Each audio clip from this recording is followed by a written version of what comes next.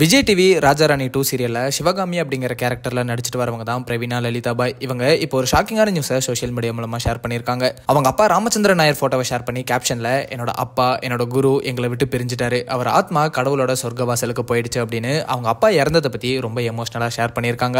பிரவீனா அப்பா கேரளாவில் இருக்கிற என்எஸ்எஸ் காலேஜில் எக்கனாமிக்ஸ் ப்ரொஃபஸராக ஒர்க் பண்ணிட்டு இருந்ததா சொல்கிறாங்க இவரோட இந்த திடீர் இறப்புக்கு என்ன காரணம் அப்படிங்கிறது எக்ஸாக்டாக தெரியல. கண்டிப்பாக தந்தையோட மறைவால ஆக்ட்ரஸ் பிரவீனா மனம் முடிஞ்சிருப்பாங்க. அண்ட் செலிபிரிட்டிஸ்னு பலரும் அவங்களோட இரங்கலை தெரிவிச்சிட்டு வராங்க. அப்பாவோட மறைவில் கஷ்டப்படுற பிரவீனா குடும்பத்துக்கு எங்களோட ஆழ்ந்த அனுதாபங்களை சொல்லிக்கிறோம்.